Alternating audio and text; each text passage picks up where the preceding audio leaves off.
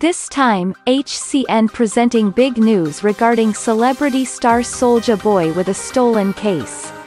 But before moving forward, I would request to please subscribe my channel, and hit bell icon, so that we can keep you in touch all the time. Rapper Soulja Boy had some problems with the law and these issues landed him in jail not too long ago. Last week, according to more reports he was arrested, and he's been held since then without bail. He has reportedly been on probation since back in 2014 over a weapons case, writes Hot New Hip Hop.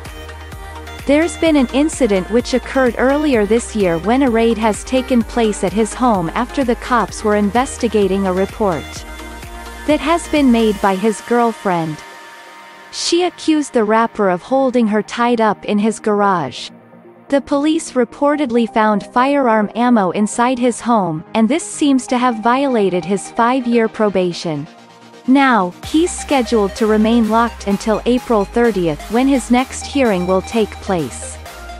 The online publication cites data from TMZ and reveals that his home was burglarized.